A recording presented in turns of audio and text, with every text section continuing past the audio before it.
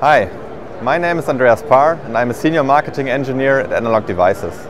At this year's IMS we are demonstrating our millimeter wave system expertise by showcasing two radars for industrial applications.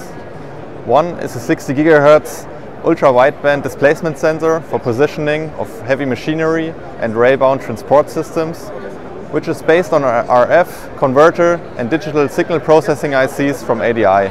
Has an accuracy of 5 mm and a maximum range of 500 meter. The radar system can operate in a primary radar mode with passive targets, but also supports a cooperative secondary radar mode where two radars measure distance to each other cooperatively.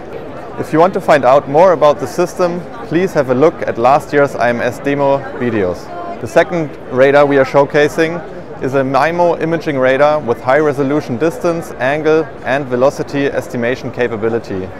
The radar uses multiple transmit and receive antennas to create a virtual antenna array with a beam width of 1.5 degrees and multiple gigahertz of sweep bandwidth to achieve a range resolution of a few centimeters.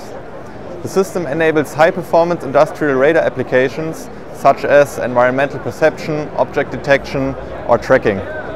For additional information, please go to analog.com slash absolute positioning. Thank you.